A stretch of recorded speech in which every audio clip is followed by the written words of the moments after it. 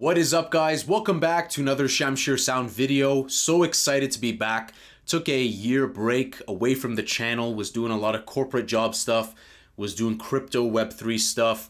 But guys, got a lot of time now. I'm doing some side things, but I'm going to be pouring more time into Shamshir Sound. Thrilled to be back alongside the release of FL Studio 21, which is an absolute banger. If you guys are excited, smash up the like button, drop a comment what you're looking forward to because I'm so excited to be dropping tutorials, sound design, new sample packs, feedback, all that good stuff. We're going to review new plugins. The next video, we're going to be reviewing the Cashmere uh, kick punching, transient boosting package. We'll take a look at that. In this video, we're going to be taking a look at using FL Studio 21's new feature, which is adjusting the samples, curves, and fade outs, fade ins to make percussion quickly more punchy because it's really all about the power of silence. Let's go ahead and drag some samples in.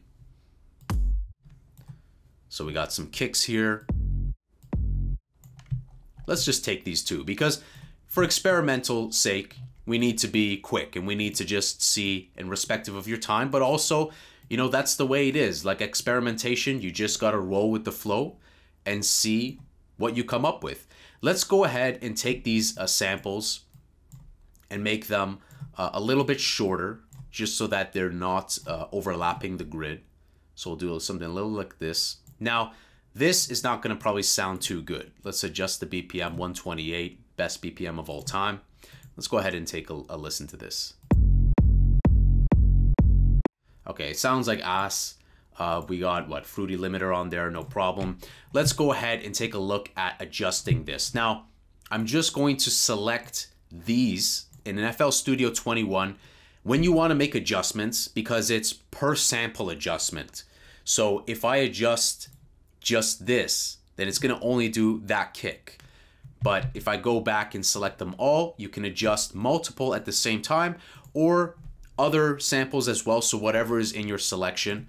I'm to go ahead and adjust this and listen to it. Now, of course, you have a few things you can do here. Uh, first of all, you have the top here where you have kind of the length. Let's call this the length of the fade out. You can also fade in, but of course here we're dealing with a kick, and so we want to preserve that transient, unless maybe you're layering or doing something else. And then we also have a couple of other things here, which is the gain knob. You can go down, you can go up. And this is beautiful because we're seeing the wavelength in real time, which is something we really yearned for that Ableton had, but we didn't really have that yet.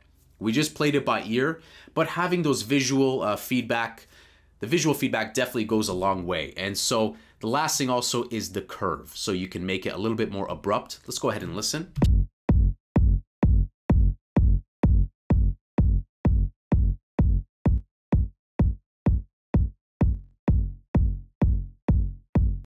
So you can get a little bit playful here. Now, this is going to introduce quick layering. It's also going to let you do, during an extended mix, your intro and outro kick. If you feel like you don't want it to be the full power of the drop, not only can you just make a quick adjustment of your drop kick and just make it like shorter and quieter, you know, that way you don't have to apply a high pass filter, you don't have to worry about any sort of other issues. You don't need to introduce new CPU resources. You don't need to worry about that because that way this could be like your intro kick and you could adjust it however you like. Maybe you want it to be quieter, maybe you're okay with the volume, and then your main drop can just be that full length beefy kick. Now let's take this and see, is it possible for us to layer these two? And let's take a look. So let's go ahead, uh, make sure we're on the grid there and let's see what we can do here. So I like the punchiness of this. Let's see if maybe we can add the body of this kick.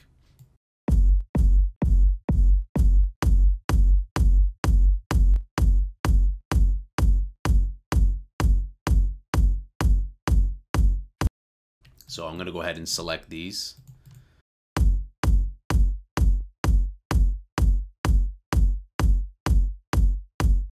That's actually not too bad.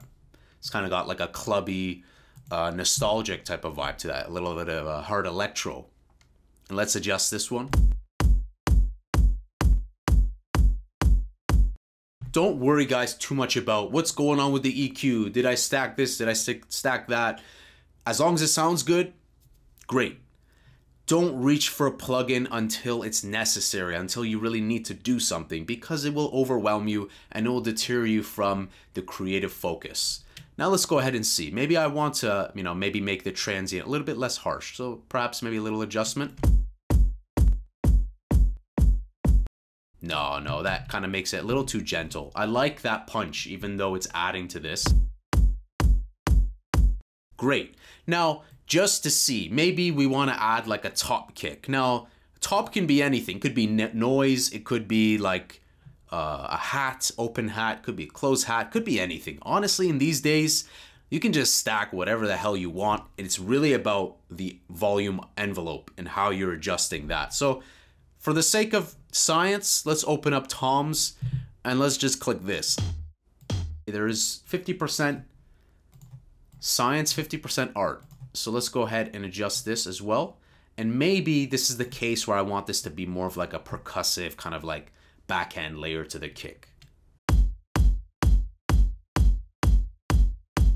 I'm actually pretty happy with those results. So something like this you can just quickly get inspiration from Perhaps if we want to tighten this kick, we can do that too, where I leave this and I come back to this and I select these two.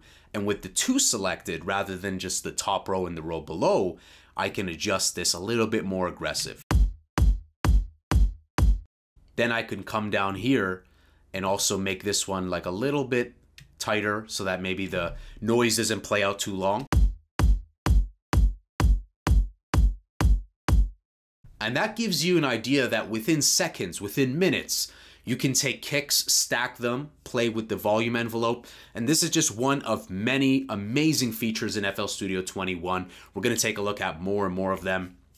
I hope this inspires you guys to take kicks that you already use, take percussive elements that you just randomly stumble upon, and see how that plays well with your kick. Because uh, Armin van Buuren would talk about this in the past, where sometimes he'd be playing out a track and he's, you know, at the end of one track and introducing another track, but they both happen to have either like the same kick, the same transient, and you kind of had phase issues, like cancellation issues. So doing things like this will make your sounds more unique, they'll make them pop, and the barrier to entry is very low. So something like this is just great to do. I can highly recommend this. And guys, if you enjoyed this video, brief video on fade outs and how powerful it can be. Smash up the like button, hit that subscribe button, hit that notification bell, and I'll see you guys in the next video. Have an amazing day. Take care.